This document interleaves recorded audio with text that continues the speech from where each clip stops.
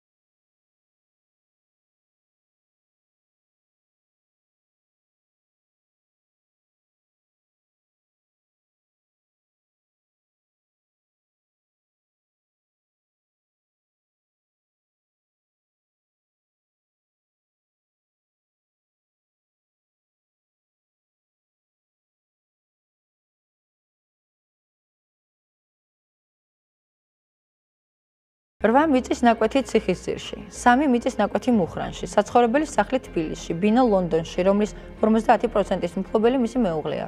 დეპუტატს აქვს ორი აგარაგი წყნეთში, ბინა დუშეთში, მიწის ნაკვეთი ლისის ტბის მიმდებარედ, მიწის ნაკვეთი ნატანებში.